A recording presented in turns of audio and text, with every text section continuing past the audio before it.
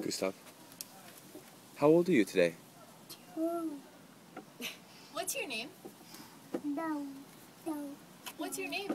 No.